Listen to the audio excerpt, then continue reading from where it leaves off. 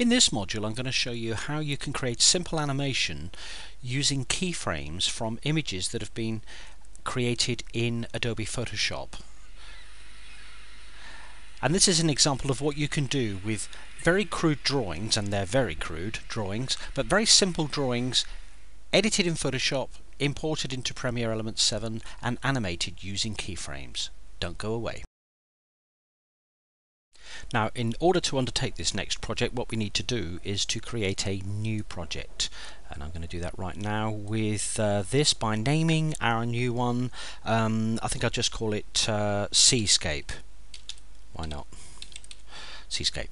Uh, the project is going to be saved in the same folder, the Home Movies folder, within My Documents as the previous stuff that we've been working on, and I'm still going to assume the same project settings, PAL DV widescreen. Um, so I'm happy with all of that lot, so let's just click OK. And the first thing we see is the default workspace within Premiere Element 7 with nothing in it, as you'd expect.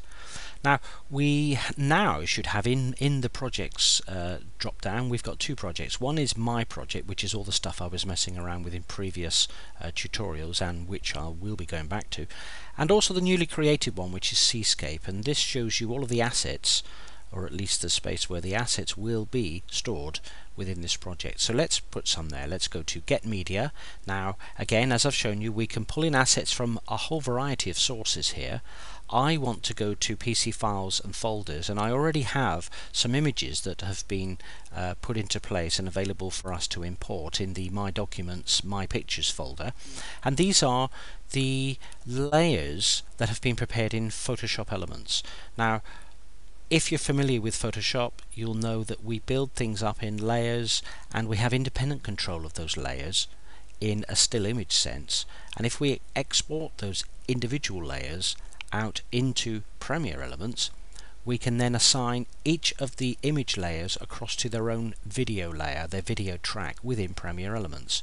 And uh, it just takes a bit of care to keep everything separate, but once they're uh, once they're imported into Premiere Elements we have individual control over them on their own layer and that's exactly what I want to do here. So I've selected them all, let's click open and it's done it as you can see here. Now we know they're images because they've got this little JPEG uh, icon or image icon anyway they're not JPEGs they're uh, PNG files actually. So the principle with uh, Premiere Elements and with the full-blown Premiere and also with many many other equivalent video editing programs is that we build from the lowest track first upwards but the track on the top is the one that takes precedence over the ones below it. And in this sense, our animation is such that we want the objects in the foreground of our picture to take precedence over the ones in the background. So it's a good idea to build up the background first and then work forward. So the background obviously consists of blue sky. So there's blue sky. I want this to be about 10 seconds long. So let's just drag this up to 10 seconds. Now let's go to the next layer coming from back to front and that is the sky. And I'll put this on video 2 and I'll pull that forward like that. And then uh, the next one is a cloud so put that on video 3 Notice that I haven't got any associated audio layers there apart from video 1 and the reason is that uh, I've actually cleared them down just before I started in case you're wondering where they went. I will now need to add more layers so I'm going to go timeline, add tracks. I don't need any audio tracks so I'm going to select 0 but I do need quite a few video tracks so I'm going to select another uh, 9.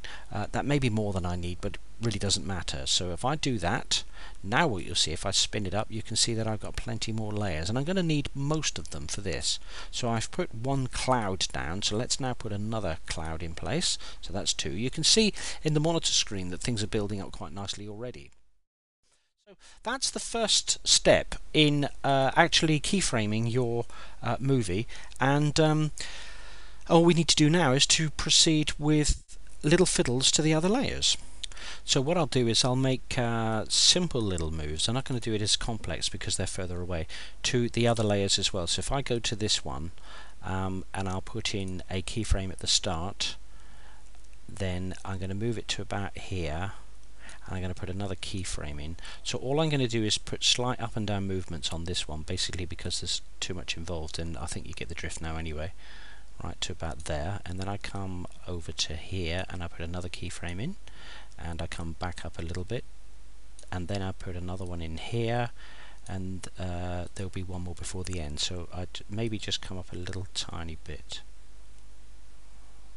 there like that and then I go to the end there and one more and then down just a smidgen. So that's that one and let's just check it. It's a good idea to check everything as you do it. Yep you can see it's moving there. That's fine. Okay now what I'm going to do is come to the uh, the most distant uh, bit of sea. Put this right back at the beginning